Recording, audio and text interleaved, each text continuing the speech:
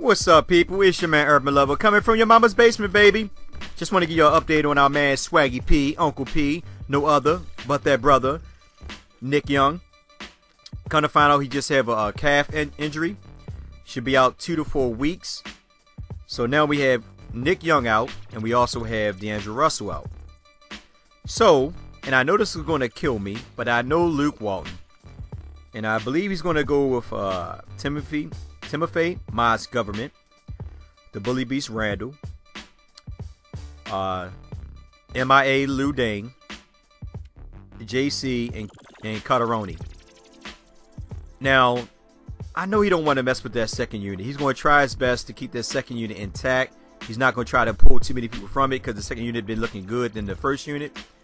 I said in one of my old my previous videos that he should just go ahead and start the second unit but also keep in mind that second unit will be going up against the, uh, the opposing team number one unit, you know, first unit. So it might not be as good as it seemed because the, the beautiful thing about that second unit and the reason why they're getting so much praise is number one, JC and, and Lou Williams. You know that that backcourt duo is pretty decent, but they're actually coming in at a time when that first unit is either tired, worn out, then they're rotating their players in most benches only go probably no more than three or four deep, if that. So the one thing about us is that we're going five deep. So we just bring bringing like a whole new starting five. And we rolling. But right now at this point in time, there's no guarantee we're gonna win a lot of these games because we got two of our best shooters out. And now that they both are out, we got to figure out where we'll get scoring from. MIA Dane hasn't done nothing for us. Me personally, I would sit this dude on the bench. I don't care if he's making 15, 15 million a day. I'll sit him on the bench. He's not giving us anything, and I'll have him come in with that second unit because it might it might be much better for him at this at this point of time, so he can get his game back, his rhythm back. Try to find some type of just try to find some type of flow uh, to get back into the game. But I, t- I talked to you guys in my last video about you know what you know how would you think the the starting five should be or the rotation should be or something like that. So I'll listen to some of the comments, and this is what I came up with. And I, I know Luke Walton ain't gonna go with this, but this is what I would do if I was Luke Walton. My starting five would be Timothy Miles Government, Julius Bully Beast Randle, Larry Mr. Utility Nance Jr., JC, and Dr. Will. That would be my starting five and I'll have this will be my my backup squad. However you want to do it, you can rotate them in or just bring in the whole unit, however you choose to do it. But I will go with uh, Tarik Black, T. Rob, M.I.A. Dane, Calderoni, and Brandon Ingram, Brandon MoneyGram Ingram. Now with Brandon, Brandon MoneyGram Ingram, what I would do is I would put him at the two and let Calderon play the point. MIA Dane will definitely play the small forward, and then Black and Rob, you know, play the power forward and center position with much respect. Now with this squad, Ingram will be the focal, focal point on the scoring squad. This will actually help Brandon Ingram be able to get more into a rhythm and scoring. You know, because you got to also keep in mind when he's coming in the game, he's coming with JC and Lou Williams.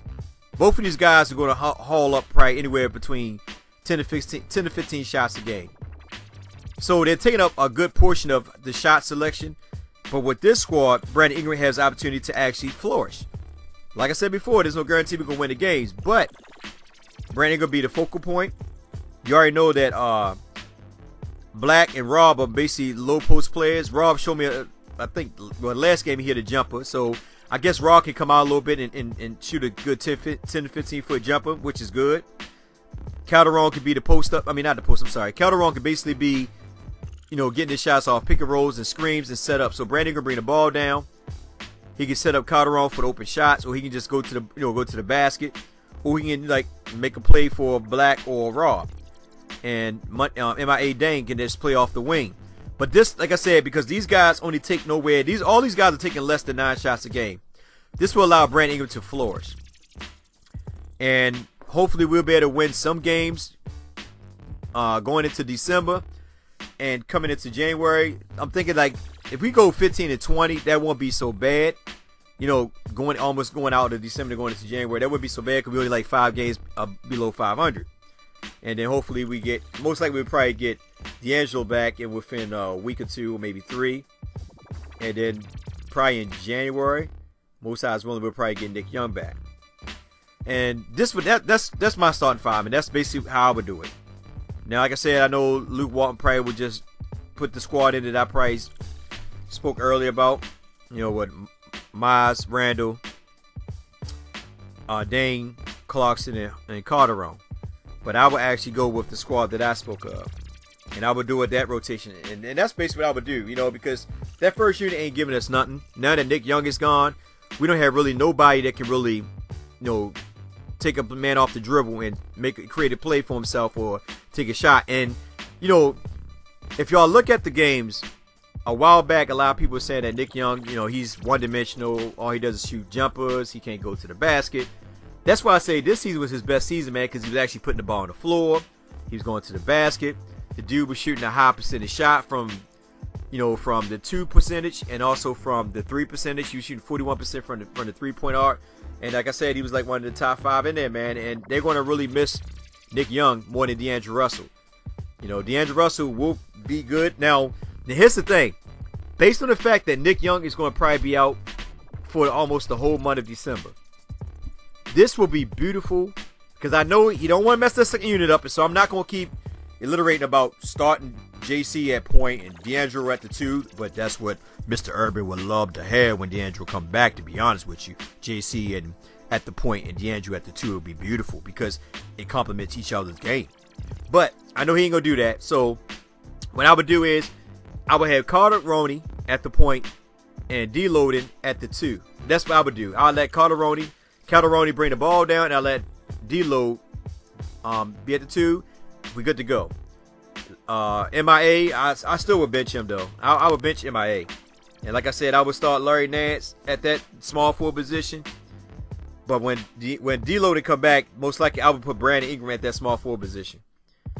I would, like I said, he's a rookie. Right now, we we, we still, uh, basically, uh, we still in a hunt. It's not like we out of the playoff race, stuff like that. And it's still early the season, so anything can happen. But I would definitely go ahead and start Brandon Ingram, MoneyGram Ingram, when D-Loaded come back, and I would let MIA Dane get on the bench, and he could be missing on the bench. If you can't find him, that's all good. It's not hurting us. That's cool.